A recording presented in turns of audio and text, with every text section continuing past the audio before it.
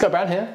In today's exciting episode, we show you the very expensive drawer kit that we invested in for our brand new kitchen, this one here. And we put together a cabinet that has some special challenges. And this episode is also brought to you by Squarespace, but more about that later.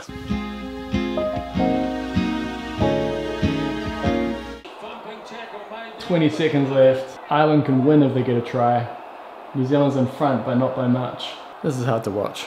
Oh, come on. Oh, big hit. Full time. Come on. 37.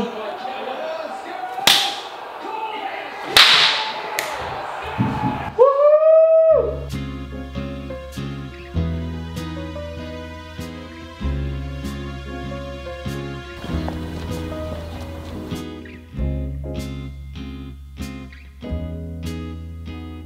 You have impeccable timing.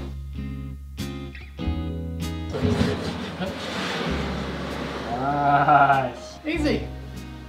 Yeah, that wasn't too bad.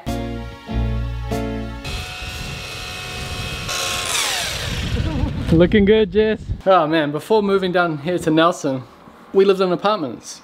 And I don't think Jess really used tools at all. And now look at her, out there in colourful cotton overalls, using a Milwaukee edge trimmer. This, um, if this symbolizes your relationship with, um, I don't know, yeah, fill in the blanks. Should put it outside, give it some fresh air. Needs a dust mask. So we've got all the cabinets in that one wall there, but these cabinets here are for the other wall. And they are a little bit tricky because they have the cooktop within them on the center, in between the two cabinets. Now I started trying to explain to Ray how we're going to do it, and I sort of watched his eyes glaze over. So rather than trying to explain it, I'm just going to do it, and you'll see it come together. It'll make sense when it's done.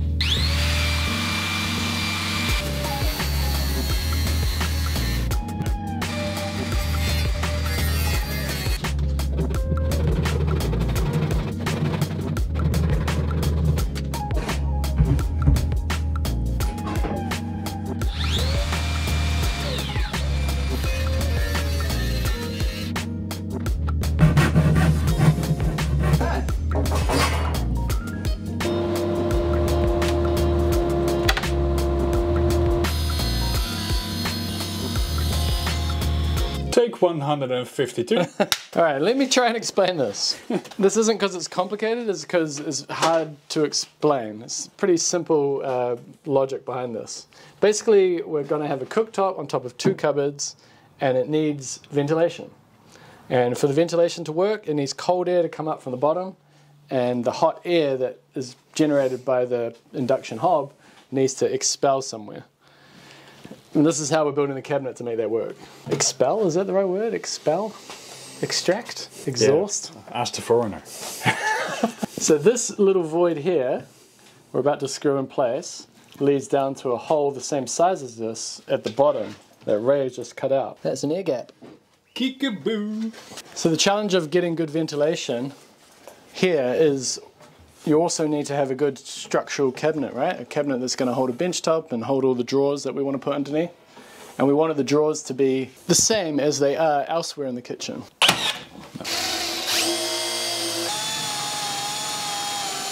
Yep. You want to hold it differently? Yeah. I'll just hold it awkwardly like this. Well, we, we can work this way. No, that's right.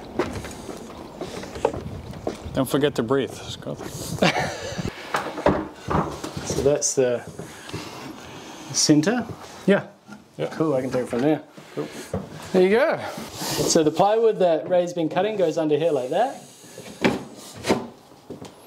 And that creates an enclosed area. And then you have a vent down here that the cold air will be sucked up. And then we're going to put a nice router slot through here that will allow air to escape. And then all the hot air produced by the fans of the induction cooker will have somewhere to escape. And it won't get all in the drawers. Did we forget about that? No, it's just I don't have the upcut router bit to make a nice clean, because it's a cut you're going to see. And it has to be reproduced on the drawer front as well, because the drawer front's going to come all the way up. Do you think this is the um, the part that, that sucks, or that it That would be the exhaust. or gives? This would be the suction part. It pulls up the cold air, Right. and this would be the hot air expelled out. Because the fan's like hungry for air, so it's like rah, grabbing the cold air from down below, and the hot air rises, right? So it should go out that way. That's quite nice. You're cooking here and you get warm knees. That's pretty good, hey?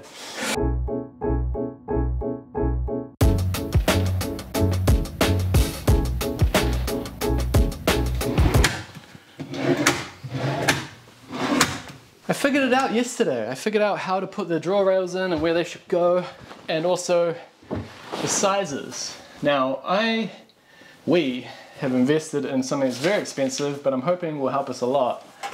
This draw system. This is Nova Pro Scala by Grass. That's the brand, and I got it via Häfele, New Zealand. But it means you don't have to build draw boxes because this, this is the main componentry of the draw box. It all starts with the rails. So let's put them on.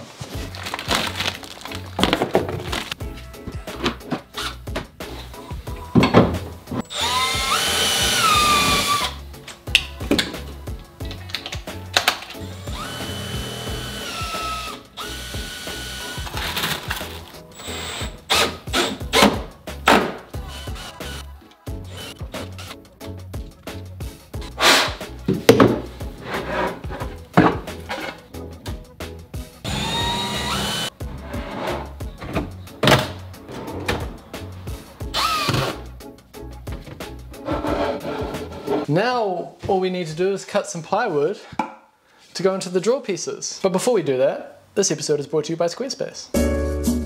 As well as being a sponsor of the channel, Squarespace is a website building platform that allows you to stand out and succeed online. We built our website on Squarespace. If you don't have a website, I highly recommend you get one because it's like an online business card. Squarespace make it super easy to set up, so you don't really have to know coding because they have drag and drop functionality. Get your media, get your photos, drag it into one of their beautiful templates. They have hundreds of templates to choose from, and then you'll have a great website in no time. They have portfolios and galleries to showcase your work. They have e-commerce tools built right in, so if you're selling a product, Squarespace is a great place to do it. You can even set up your own custom domain name all inside Squarespace. They make it really easy, that's the bottom line. But you don't have to take my word for it because they also offer a free trial. So you have nothing to lose. But then once you're ready to actually launch your website, head over to squarespace.com forward slash Scott Brown Carpentry. And then that way you'll save 10% off your first purchase of a website or domain. Cheers to Squarespace for supporting the channel.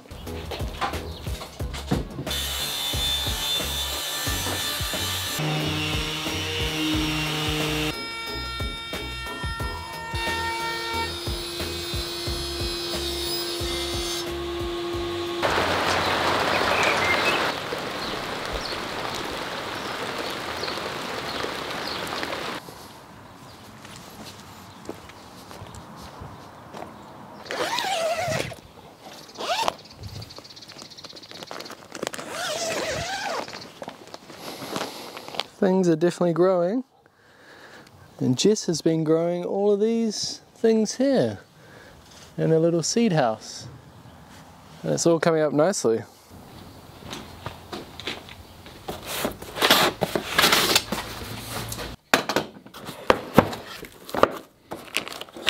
So these drawers do go together fairly easily.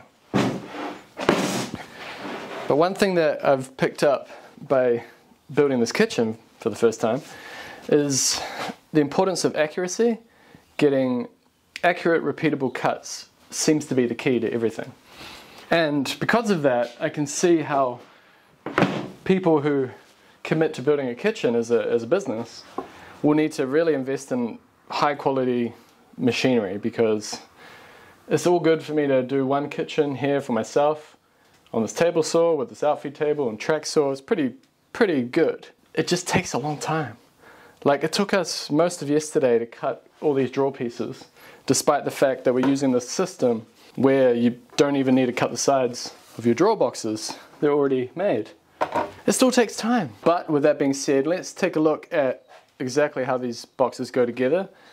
I put a couple together yesterday and I put them in and it kind of showed me that maybe I don't need to be as accurate as I thought. There's a bit of flex in these things.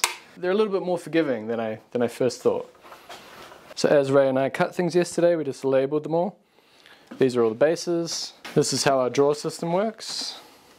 Skinny one at the top, slightly big one in the middle, and then a big one at the bottom. Anyway, speaking of the plans, um, I'll put a link in the description to the person who designed them, Mark Williams Joinery Design, based in Australia. Because if you plan to do any cabinetry project, I highly recommend having a set of plans like this. It has helped me so much. So yeah, I'll chuck Mark's email address in the description below if you want to get some plans drawn for your cabinetry. Speaking of the description, I always have links to tools that I use, clothes that I wear, like the work clothes that I wear. So if you've ever wondered about that stuff, they're usually listed in the description below. So the drawer's pretty easy. Slots in nicely like that, and then you go for those screw holes to hold it.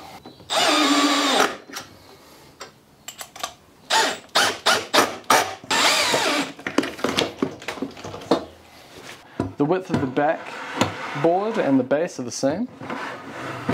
So they just lock in like that.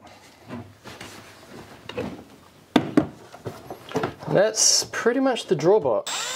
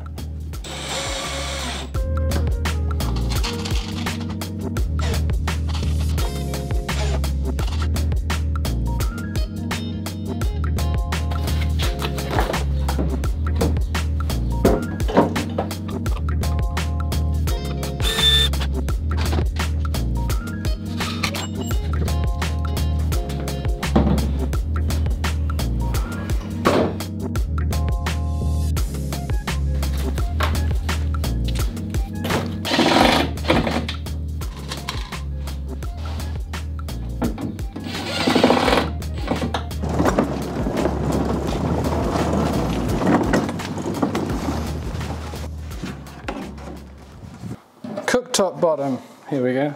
This is the fun part. This just slots in.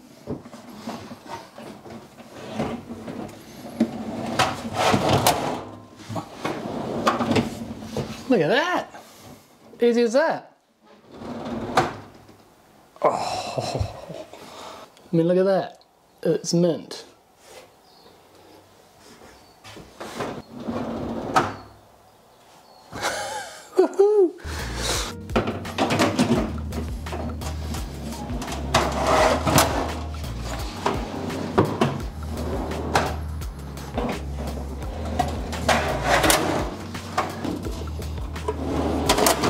Is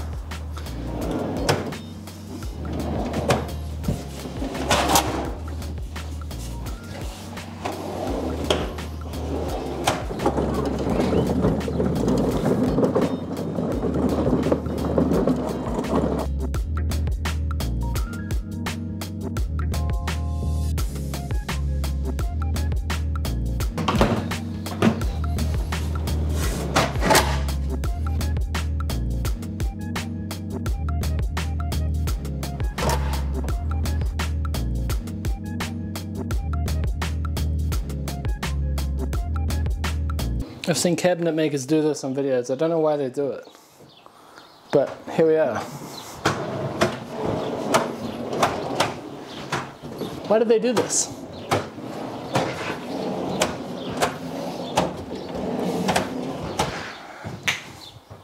I think it's because it's a lot of fun. Oh man, I'm pooped. Um, I want to thank you guys for being patient with me. Uh, obviously, I'm not building a start to finish kitchen in this video or any of these videos. So this is my first time building a kitchen and I want to come out with a really professional one at the end.